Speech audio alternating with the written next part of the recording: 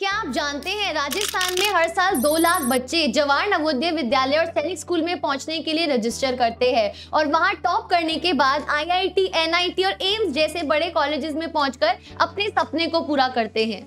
जिस तरह राजस्थान के फ़ेमस फोर्ट्स फ़ेमस प्लेसेस लोगों को बार बार आने के लिए मजबूर कर देते हैं। उसी तरह राजस्थान के माता पिता राजस्थान के पेरेंट्स जो है, वो भी अपने बच्चे के भविष्य को उज्जवल बनाने के लिए तत्पर रहते हैं। और फिर वही बच्चे साइंटिस्ट वही बच्चे इंजीनियर और बहुत अच्छे अच्छे प्रोफेशन और बिज़नेस में जाके अपने माता पिता का नाम रोशन करते हैं। तो आप भी तैयार हो जाइए हमारे साथ जुड़ने के लिए, अपने बच्चे के भविष्य को उज्जवल करने के लिए, क्योंकि एस कैंपस लेकर आया एक ऐसा वन ईयर प्रोग्राम एक ऐसा वन ईयर बैच जिसमें अगर आपका बच्चा कक्षा चौथी, कक्षा सातवीं में है और वो कक्षा छठी और नवी में जेएनवी या सैनिक स्कूल में पहुँचना चाहता है तो जुड़िए हमारे साथ इस बैच के लिए। अभी दिए गए नीचे लिंक पे एक बार टैप कीजिए। आइए साथ मिलकर आपके बच्चे के भविष्य को उज्जवल करते हैं।